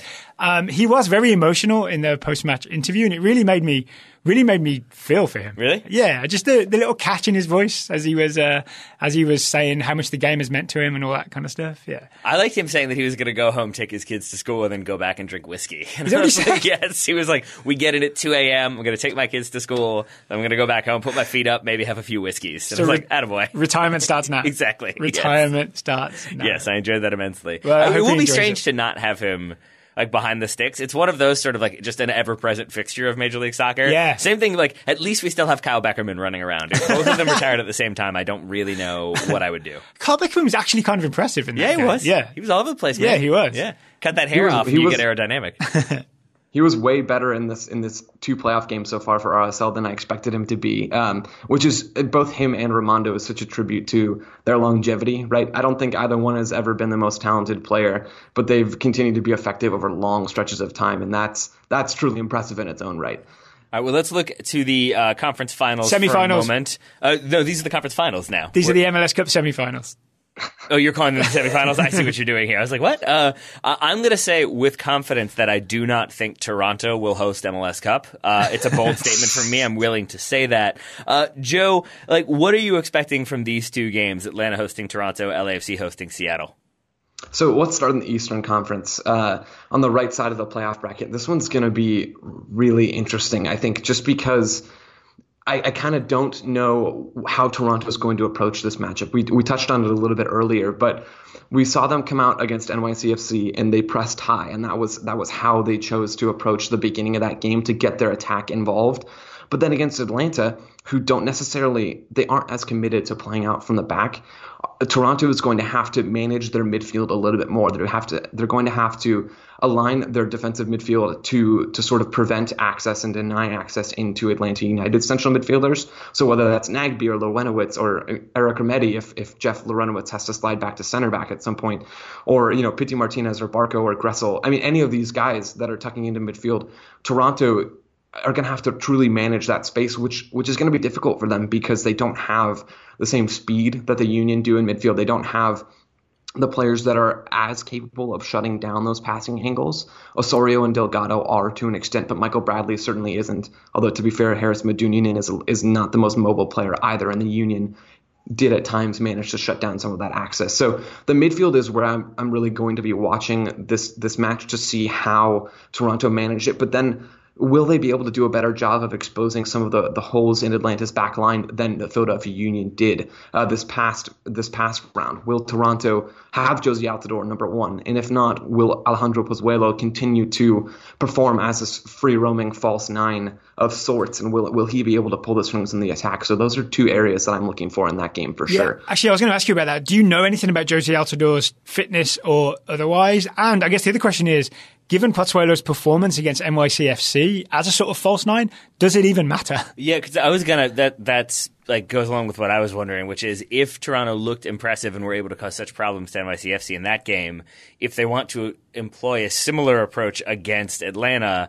Is there an argument to be made that you don't start Jozy Altidore, fitness concerns aside, or incorporating the fitness concerns, but also because it requires you to change it up a little bit versus this worked against NYCFC, we got it right, let's just do the same thing again against Atlanta?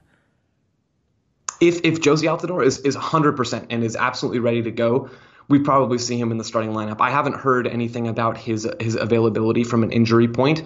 Um, I but can jump in to say that he, both he and Omar Gonzalez were game time decisions for the game against New York. Obviously, neither one ended up featuring, so make of that what you will. I, I mean, I would make of that that if the, this game's on Wednesday and Yeah. you're a game time decision on what Thursday, there's no way you're 100% fit Uh, on next week. Tuesday of this week, Vanney said the guys are progressing. Omar did everything we needed him to do. Jozy came in early, got his work in. He's going to see the doc, and we'll see where he's at. But everything's going to be tight. So that was in relation to the game last night. Or And to Jozy's ago, hamstrings. Excuse me. Yes, just like Jozy's hamstrings. So maybe with uh, a few more days, he'll be good to go. But uh, I guess we'll just have to wait and see. Uh, what about from the Atlanta side? I guess they have always have big selection decisions. We've talked about Pity Martinez and Barco, and Mm-hmm. whether you go with Hyndman over Martinez for more defensive effort. There's also the question of Robinson. Will he be back? Parkhurst. Will he be back? Joe, share, share what you know. Do you know anything about any of those situations?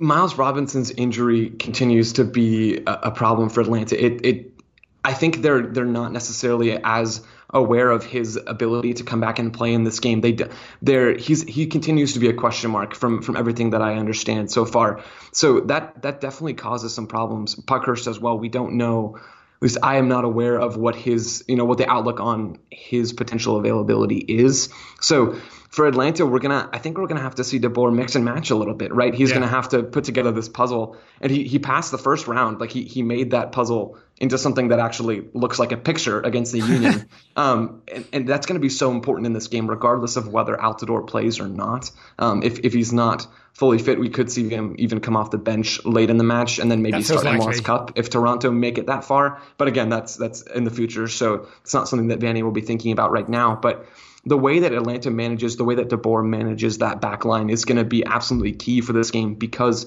Toronto's attack is dangerous. We've seen it. We saw them turn on the Jets against DC United with those four goals in the first half of extra time in the first round, and then we saw them come out and have some dangerous chances against NYCFC as well. As well, so how Atlanta manages their their backline from an injury perspective is going to be a really big uh, metric for how this game goes. Speaking of, um, I'm going to throw this out there. Florentin Pogba, actually a very good defender and very good bringing the ball out of the back, and I'd be perfectly fine with him starting a playoff game if I'm an Atlanta fan. I'd almost say maybe he hasn't played enough this year, like he deserves more minutes. I, I totally agree. I don't know I'd be lying if I said I'd paid enough attention to Atlanta throughout the season to know kind of what Pogba's deal was, why he was playing some with Atlanta United 2 and USL, all of those factors. But judging from from their Eastern Conference, the last round game against the Union, Pogba was very good. He had a sequence that sticks out in my mind where he he carried the ball forward and sort of forced the Union's midfield to to show to him to step, and then yeah. he he took advantage of a little gap and played a ball through. It was simple, but it just shows his his quality on the ball and his ability to make an offensive impact. And then defensively, he can cover ground in that left side, whether that's from I mean, more of a defensive left back or a left sided center back in a back three, or just the left half of, of a defensive center back pairing. He can do all of those things. So I, I think Atlanta United have kind of found a, a, really decent defensive utility player who can make an impact in these types of games. Because the thing we were worried about was the uh, the the mobility that Miles Robinson offers goes missing. But maybe, yeah, like you said, Pogba covering ground um, offers a little bit of that.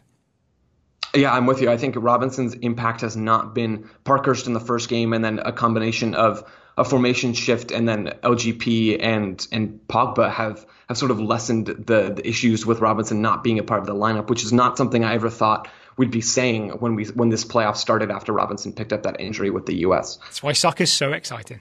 Uh, that game is uh, Wednesday night, um, 8 p.m. kickoff or there or thereabouts, Atlanta versus uh, Toronto. The day before, Tuesday night, uh, October 29th, 10 p.m. Eastern kickoff. It's LAFC hosting the Seattle Sounders. Here's the first tactical thing I'm interested in. Um, we saw Dallas try and deal with Seattle's uh, left side, the Brad Smith, Jordan Morris, Lodeiro drifting over left side uh, by having like Reggie Cannon on the right wing and a centre back play right back. Um, we didn't talk about it, but we saw RSL sort of try and pin Brad Smith back. Yeah. I would argue Taylor made that point, mm-hmm. right? That there was send Herrera forward and try and pin Brad Smith back and it kind of sort of worked until it didn't. will Bob Bradley have a plan for Seattle's left side, or will it just be like LAFC go out and do what LAFC does and steamroll teams. And it finishes 14 to 13. Yeah. I mean, I'd watch that. yeah. That would be a watershed moment. That'd be, that'd be okay. Yeah. I, don't know if, I don't know if it'd be a good watershed moment. it would certainly be a moment. We talked we talked about Latif Blessing earlier, and he does typically play in that right-sided midfield mm. role, central midfield role. And so I'm I'm wondering. This is just speculation. I don't think we'll see Bradley make any systemic adjustments necessarily, but it could be just sort of a okay, Latif Blessing, you are you're the Reggie Cannon of this game, right? In the first round, we saw Dallas. Luchi Gonzalez played Reggie Cannon a little bit out of position, but you know we believe that that was with an eye to shutting down Seattle's left-sided attacks with Brad Smith and, and Jordan Morris we, we believe that that's what the intent was there to have a more defensive minded player in that spot, a little higher up the field, but playing off of another fullback as well. And so Blessing could sort of take that role up, playing off of Steven Beitashour on the right side of LAFC's defense to to try. I, I don't know that any team can can do it 100%, but to try to limit the effectiveness of Seattle's left sided overloads and then their attacks down that wing. So you saying Blessing will be like LAFC's right winger or right central midfielder? Like where are you picturing him in this setup? I think they'll still be in the four through three with Blessing as that that right sided central midfielder. But if he drifts wide when when Seattle possess the ball, and maybe it'll be less of Diego Rossi or whoever that right winger is, maybe it's Vela at that point. Maybe it'll be less of their responsibility to to contribute defensively and more Blessing partnering up with his right back and shifting a little bit wider and almost acting temporarily as that wide right midfielder, but only only to shut down those defensive moments. Got it. And here's a, an idea for Bob Bradley, who I know loves to listen to media and take suggestions. His favorite thing. Um, if Carlos Vela plays right wing in this game, then if I'm Brad Smith, I'm suddenly thinking maybe I'll just stay home a little more than usual. hundred percent. Yeah. If if Vela shifts a little bit wider and Diomande comes back into the lineup, that's if you're that left back, if you're Brad Smith, he's always in the back of your mind. You can't go forward without thinking about what's going to happen to you if Carlos Vela gets the ball in behind. Uh, so that's that's another example of, of a team using their offensive ability to to sort of act as a defensive mechanism as well. Tyler Miller uh, did not have the best game. He didn't have the worst game. He has the, the bad one for Zlatan's uh, equalizing goal, then the equalizer. But then he pulls off some decent saves. How do you rank him in terms of like MLS goalkeepers? Where does he fit in? Is he a potential source of strength or is he a potential liability for LAFC? In most games, I think Tyler Miller is is a definite strength. But then when it seems like he matches up with Zlatan of the Galaxy, he sort of just melts a little bit. Which I mean, I, I kind of feel bad for him in a sense because it's got to be a mental thing at this point. That that near post shot should have been saved. That's routine, even though it's it's from Zlatan. It wasn't hit that hard. Uh, he had a chance to to knock that one out. But on the whole, Miller I think is a definite asset for LAFC. He didn't play in some matches at the, in the home stretch of the season, but now he's he's reestablished himself as the number one. He's back in the lineup and offensively and defensively, he is he is an asset for them. He can play out from the back. He's got good feet, um, and then typically he he conducts himself well in goal, helping stop some of the transition attacks maybe that that happen when LAFC push numbers forward. So on the whole, I think he's he's a definite positive for LAFC in this game against Seattle. Any other tactical previewy points that anyone wants to raise before we uh, before we move on from the conference finals, as everybody except me calls them? I've got one more if, if Yeah. you guys will indulge me. Absolutely. I think I think Victor Rodriguez status is is definitely something that I'm going to be keeping an eye on. We saw Joevin Jones start both of these games in in a wide midfield role for Seattle so far. He started in the first round against FC Dallas and in the in the second round against Real, Real Salt Lake. Victor Rodriguez is just a flat out better player in possession and if, if Seattle want a chance to to really cause LAFC some difficulties with their attacking play seeing whether uh, Brian Schmetzer puts him into the lineup could be a good measuring stick for how Seattle are going to approach the match. If we see Joevin Jones start at right wing, maybe we, we see them play a little bit more reactively, a little bit more passive, and, and try to win the ball in transition. But if we see Victor Rodriguez go out there, it could be a sign that that Seattle want to play with the ball and they're they're willing to go toe to toe with LAFC from a possession standpoint. So that's one thing that I'm going to be looking at as soon as the lineup comes out to see which of those two players is starting. That could give us a little bit of a clue as to how Seattle want to approach this one. All right, thank you for raising that, Joe. Uh, and then those games, uh, you will be hosting the the review show here on the Total Soccer Show. Taylor's nothing That's she right. just remembered. I did just That's remember right. You guys are giving me the keys. Yeah, so we're going to be, we haven't told people why, but we're going to be out of town um, those days, right? We're, we're going on a bit of a trip, which will be explained explained later. So yeah, we're giving Joe um, a copy of the keys to to the digital version of Total Soccer Show Tower. So Joe will be hosting um, the MLS co- conference finals uh, review. We uh, we've had some suggestions for names for the the future Joe MLS show um, as part of the Total Soccer Show family. We're not. I'm going to say we're not quite ready to reveal the winning name just yet. We've kind of chosen it, but I'm sort of nervous to reveal it just in case we change our mind in Yeah. the meantime. I mean, we can we can go back through and make sure there's no other like Yeah. contenders in there. We'll double check. We'll double check. But I genuinely look forward to listening to uh, to a Total Soccer show without me or Taylor on it. That seems wrong. It seems Yeah. so wrong. I mean, in terms of the amount of work we have to do, it seems great. Yeah, it seems great to make it fun, everything. Fair enough. Fair enough. So, Joe, thank you for joining us, and our listeners can look forward to hearing you once again uh, next week. But it's not the end of the show, is it, Taylor? There's a little more Total Soccer show today. There is indeed. We've got uh, Jeff Kassouf of The Equalizer coming up next to preview the NWSL final, which is happening this weekend, but also we talk about the likely, very likely appointment of uh, Vlatko Andonovski as the head coach of the U.S. women's national team. Top pronunciation. We talk, thank you very much. We talk NWSL best 11 and all the controversy there, and a little bit of Alex Morgan slash Carli Lloyd at the very end. Oh, and who's going to the Olympics and who isn't, I Yes. would imagine. Yeah. All right. So here is Taylor's interview with Jeff Kassouf. With me now, making his, I believe, return to the Total Soccer Show is Mr. Jeff Kassouf of uh, The Equalizer. Jeff, thank you so much for taking the time to talk with us today. Yeah, thank you for having me. Excited to uh, to talk some NWSL championship. I suppose I should say Equalizer Soccer, uh, but I'm, I'm used to the Equalizer podcast. There's lots of different Equalizers, Jeff. What's the best way to explain the Equalizer? Yeah, no, I'm glad you actually brought that up because I, I we do. I've tried to like make a point through the through our years here that it's the Equalizer, and obviously our domain has um, we couldn't get the equalizer in a lot of different places, including URLs, because mm-hmm. Denzel Washington and his movie had taken those. So, um, so you know, it's equalizersoccer.com, which I guess is good for SEO. But the equalizer is kind of how you know I always refer to it. There we are, and it covers uh, all, all, things women's soccer, which is what we're going to be talking today. We're going to get into into the NWSL final, which is happening this weekend. So, going to talk a little bit uh, U.S. women's national team coaching search, maybe a lot bit, we'll see. But I wanted to start with a not at all controversial topic. The NWSL Best 11 was announced yesterday. It's a lot of familiar faces, especially to people who paid attention to the Women's World Cup this summer. So that kind of makes sense until you remember that uh, I believe all of the two players in the Best 11 missed a massive chunk of the season due to that very World Cup. Uh, it also somehow doesn't feature four of the five players that were shortlisted for league MVP. It has brought about some controversy, some response. Jeff, what did you make of this best 11?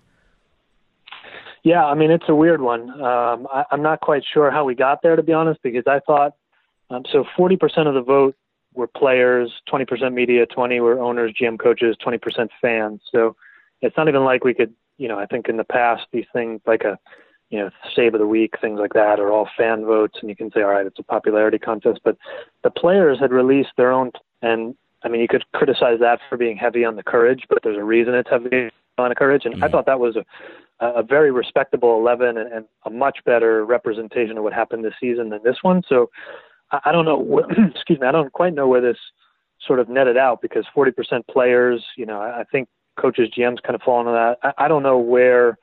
Um, you know, we got to the point where, with all respect to them, as you're kind of alluding to, um, we had uh, a lot of players who, you know, some who hardly played in the league that are on mm-hmm. the best 11.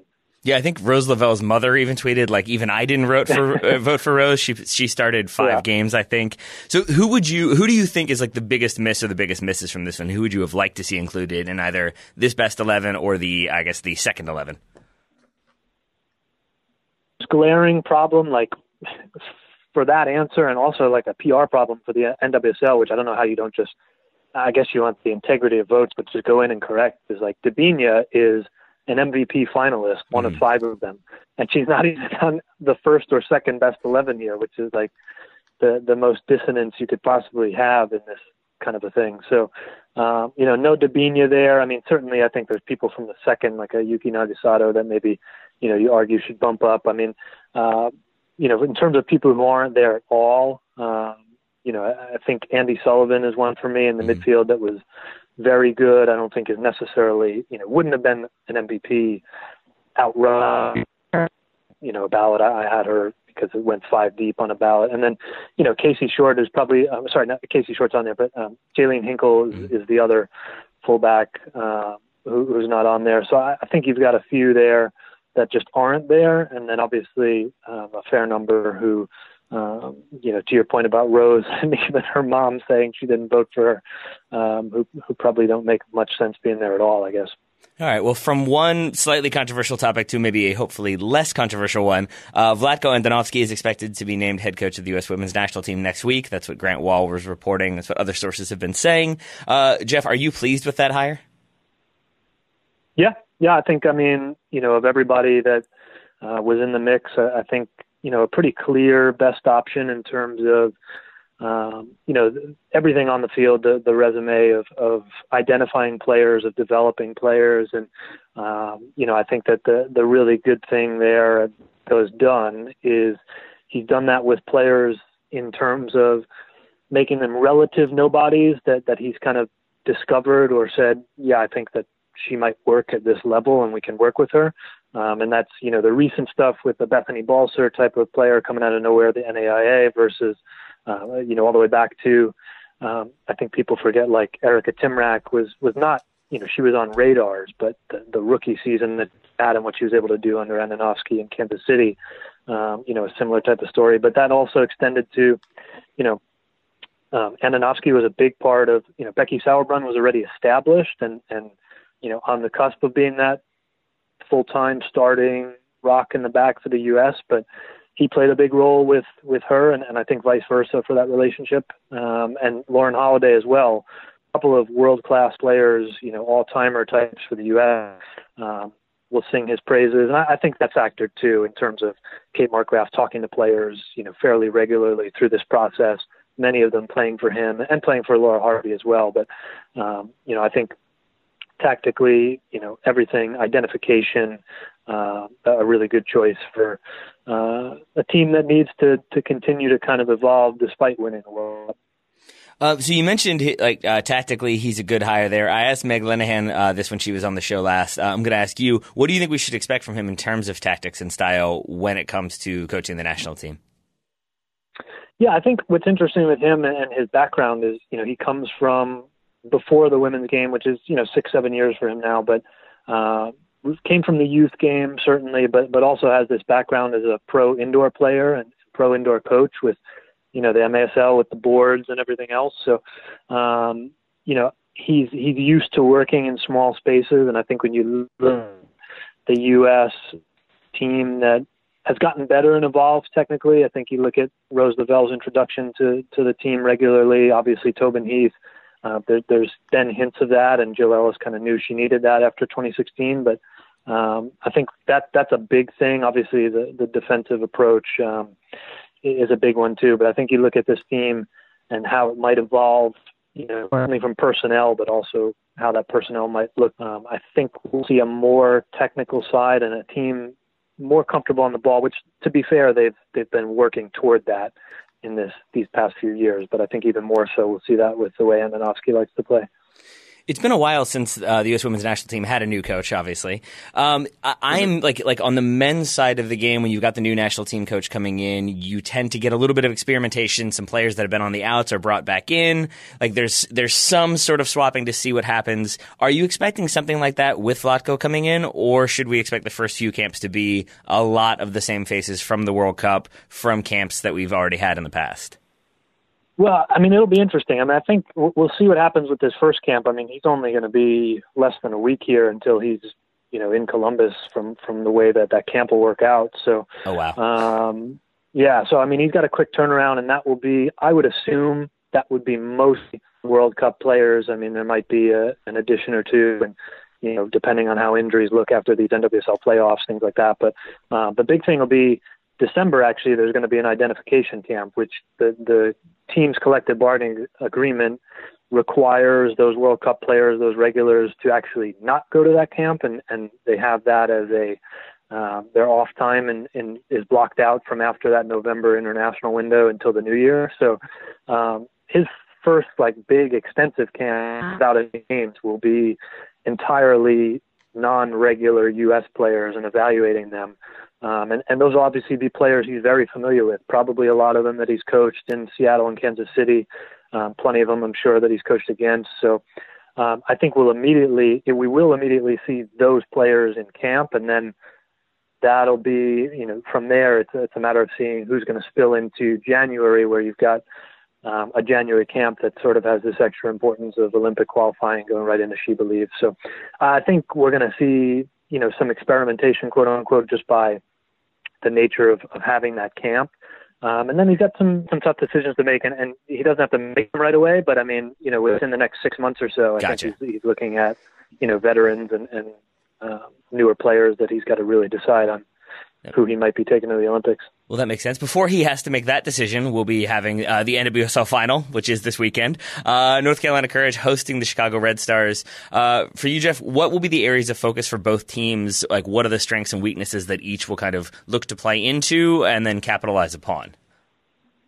Yeah, I mean, both teams, uh, you know, really strong in central midfield, and, and two of the more narrow teams, for lack of a better term, in this league. Um, a lot of the their midfield, their concentration of talent in in the center of the park. I mean, North Carolina plays this box midfield where they don't actually have any wide midfielders, and Chicago um, plays with you know kind of these hybrid wide midfielders and and Yuki Nagasato and, and Savannah McCaskill free roles, but similarly more traditionally kind of central players with Morgan Brian, Vanessa DiBernardo, um, Danielle Colaprico. So I think who's going to win that center of the park battle, and there's a little bit of gamesmanship there with Rory Dames saying he may or may not have Julie Ertz at center back, maybe at in the midfield. Um, she's been playing center back most of the rest, of, you know, the late part of the season. Um, so I think that's going to be really interesting. And then with that concentration on that center of the park, um, you know, could very well open up those flanks where both of these teams play with fullbacks that like to play 18-18. Um, so I, I think those two will sort of have some, uh, you know, uh, symbiotic relationship of sorts that, that success in one might lead to success in the other. And I think, you know, either of those situations or scenarios really, um, you know, whichever fullback or fullbacks can really find that success on the flank where there might be a little space, and then, um, you know, we'll see if those central midfield kind of offset each other, or if one can kind of uh, prevail uh, among the other in, in a crowded and talented area of the pitch. Uh, and in the Courageous semifinal this past weekend, they end up winning four to one over Seattle. But it's kind of a strange one. Scoreless until very late, then one to one heading into extra time. Then it finishes four to one. Was that, in your opinion, North Carolina sort of turning it on when they needed to, or was it Seattle more so running out of gas and North Carolina were able to exploit that? Yeah, a little bit of both, but I, I think the Reign really did run out of gas. I mean, Andonovski would tell you this. I mean, the the talent levels, particularly given um, the number of injuries that the Reign had, you know, they knew that the only way to win that game was to kind of sit in, bunker, defensive shell, and, and try to play on the counter, which honestly they did really successfully for basically the 90 minutes. They gave up a PK in the 88th, I think, and then, um, you know, forced them to go forward even more, and they find the equalizer in stoppage time. But um, you could see in in extra time they were gassed. Um, they've had a long season, a lot of injuries. Uh, playing like that for 90 minutes and, and then I guess playing like that for 120 minutes can really um, wear you down. And, and the courage are, um, as cliche as it might be, and maybe as like American as it might be, it's you know they're the most fit team in the league. Um, so they they really are a team that you know if you set up like that, I think in that scenario, Andonovski and the Reign gave themselves the best chance that they could to win that game. But certainly, um, it's a matter of slowly wearing down, and then the courage just kind of outlasting you and you know, they put up 35 shots a game for, you know, not even really an exaggeration, but slight exaggeration. and at some point, you know, that breaks a team down. Yeah, uh, but North Carolina mostly able to shut down Seattle uh, overall, the one goal, obviously. How do you think they can do the same thing against Sam Kerr? And I'm going to assume for North Carolina, ideally, not conceding that goal uh, to Sam Kerr. I mean, I think it's going to be an interesting question of, you know, she's she loves to Sam Kerr loves to play in behind, loves to run in behind, and and she will kind of check down combined with teammates. But uh, I mean, I was out in North Carolina training yesterday, and I think there's an awareness of um, how Chicago likes to play, and and that is a little bit direct um, in terms of finding her and relying on Kerr. So um, I, I think part of it is, is really going to be uh, a key to that in terms of the distribution to her because uh, we've seen this year how much Sam Kerr and Yuki Nagasato feed off of each other. And, and Yuki Nagasato likes to drop into slightly deeper space, um, almost in kind of like a hybrid 10 role. And, and if you allow her to turn, pick her head up, and find Kerr, whether that's on the counter or in the run of play, um, you know, the Thorns saw that in the semi. Gorden finds Nagasato and she picks her head up and, and just threads a beautiful ball in behind the Kerr. Um, you know, really from nothing. It was just a counterattack. So uh, I think stopping that distribution, in the midfield is actually a big part of it because if you can cut off service to her, um, I don't want to say she's not going to beat you one on one because she's very talented and, and good, but uh, that's that's a big piece of how Chicago plays is actually finding her in space and behind. So um, I think it's it's a little combination of maybe dropping off to kind of account for that and not have to get in a foot race with her, but also trying to kind of suffocate that midfield from actually having the time to pick their heads up and find her. All right. So uh, I look forward to finding out what happens. I'm sure people can read more about uh, this game from you both before and after. But before I let you go, I wanted to ask you one more question. Uh, Alex Morgan, and Servando Carrasco announced they're expecting their first child, which uh, I'm assuming, based on science, uh, means Morgan will miss the Olympics next summer. Uh, do you think that reopens the door for Carli Lloyd to potentially start in the Olympics, or are you, are you expecting other players to maybe challenge for that vacancy?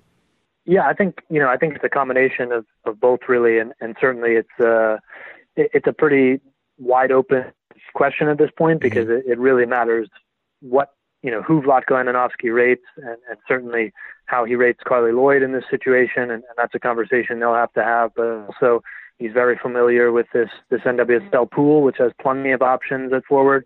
Um, and, and I'd be curious, even you know, um, how does he rate a Christen Press as a number nine, which is really her natural position that a mm. lot of us have been yelling for years. Um, and she's kind of been forced into these wide areas. So even internally, I think, you know, internally being from this 23 from the World Cup, there's a lot of options there.